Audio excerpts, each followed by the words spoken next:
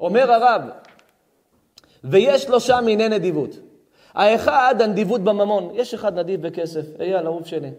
הוא, יש לו ממון, או שאין לו, אבל הוא כל כך אוהב להוציא מהכיס, לתת. למה? הוא, יש לו את הבחינה נדיבות בממון. הוא אוהב לתת שקלים. ויש השני, נדיבות בגוף. הוא, מה אתה צריך? הובלה הביתה? אני שם. אני שם. מה אתה צריך, להרים את הזה הביתה? אני פה, פה, אל תביא מנוף, אל תביא רכב. אני, אל תדאג, אל תדאג, אל תדאג, יש לי רכב, נשים על הגג, אני סוחר, אל תהיה, אני, אני עוזר לך. מה, מה אתה צריך, מה אתה צריך, מה אתה צריך, מה אתה צריך, מה אתה צריך, מה אתה צריך? מה, יש, מה קנית? אני, אני, אני עושה לך, אל, אל תביא הובלה, אני, אני אעשה לך את ההובלה. והנדיבות השלישי, אומר הנדיבות השלישי בחוכמה, שאדם נותן מחוכמתו לאחרים. איך אנשים אוהבים את זה? למה אנשים אוהבים רב? למה הוא אוהב את הרב שלו? כי הוא יודע שלרב שלו יש מוח לענות לו ולסדר לו את הספק שיש לו. הרב שלו יכול לתת לו הכוונה, הרב שלו יכול לתת לו קצת, אה, חצי שעה, עשרים דקות הסברה, אה, לתת לו קצת, אה, תובנות, ובחצי שעה הזאת הוא מסדר לו את החיים. אז מה? זה נדיבות שבחוכמה. אז יש אחד, אין לו כסף לתת. יש אחד חלש בגוף. החזון איש כל חייו היה חלש בגוף. היה חלוש, חלוש, בקושי לקום מהמיטה יכל והיה קם במהירות.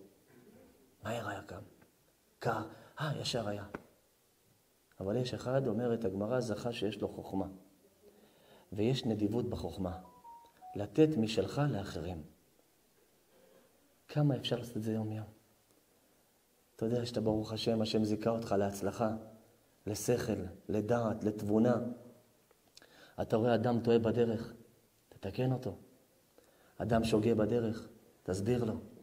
אדם בא לך לשאול אותך שאלה, אל תפנה לו את הגב ותגיד לו, ההפך, תן לו מהחוכמה שלך, תן לו מהשכל שלך. איזו נדיבות גדולה, יאהבו אותך על זה.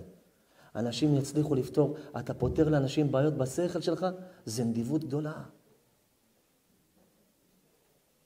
אין לכם מושג, אני אומר, באים אליי לפעמים אנשים, ירון, באים אליי לפעמים אנשים, תראה, אני שומע את זה, זה כואב לי. הוא אומר, הלכתי לאיזה מישהו, שילמתי שם סכום של כסף, בשביל לשאול את השאלה, ובסוף מה שהוא ענה לי יצא נגדי, שילמתי, שילמתי על זה ביוקר. אני אומר, תראה מה, זה לא רק שהוא לקח לך סכום של כסף על העצה, הוא גם נתן לך עצה של רשעים. ולפעמים, לפעמים, אתה הולך לבן אדם ישר, הגון, ואתה מתייעץ איתו על איזה עניין מסוים, והוא מכוון אותך לכזה כיוון שלא חלמת שבסוף ישתבח שמו לעד זה יסתדר לך. אז אתה לא יכול לתת כסף, אתה לא יכול לתת את הגוף שלך, אבל אתה יכול לתת נדיבות מהחוכמה שלך.